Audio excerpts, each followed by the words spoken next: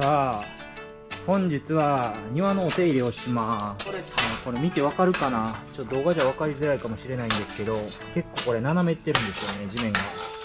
これを今から平らにします。はい今日は力作業になると思うんでね。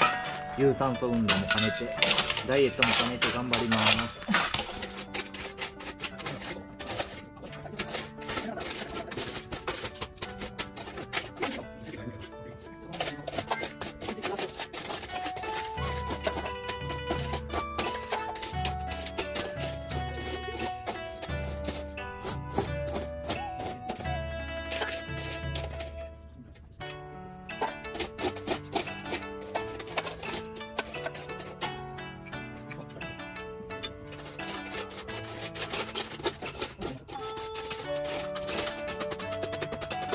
いい感じです。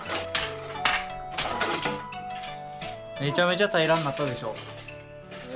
最初と比べたらねもういい感じですね。いいい運動です。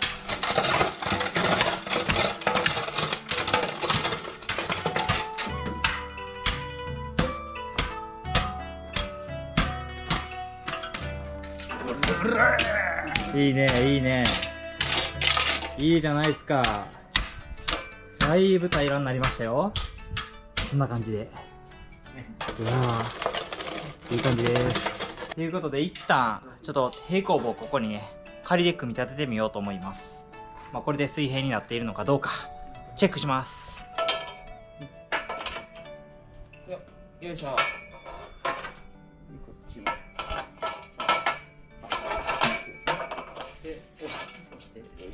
入りました。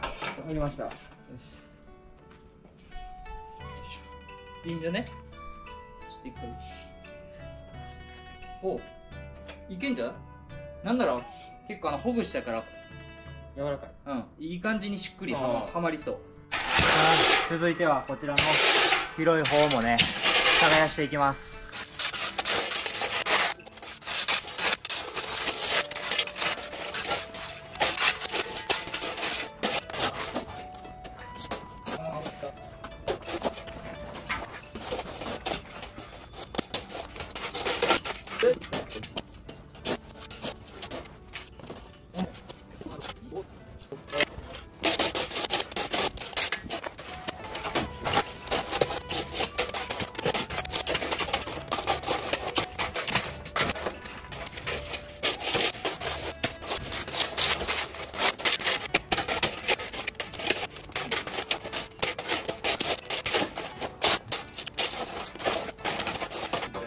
ちょモテんマジで。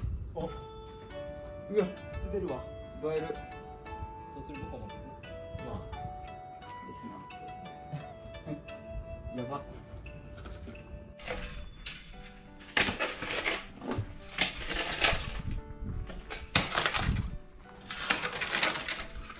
大変だこれもこれもこれもこれも。でも楽しいねこれ。いや楽しい、トレーニングになるし。うん、トレーニングにもなるしこれからね出来上がるのが楽しみすぎてワクワクが。愛着湧くと愛着湧くね。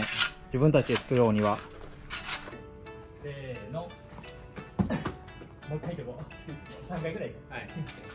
せーの。いきますよ。せーの。ラストせーの。あ最後結構いい感じかも。嘘。うん。疲れた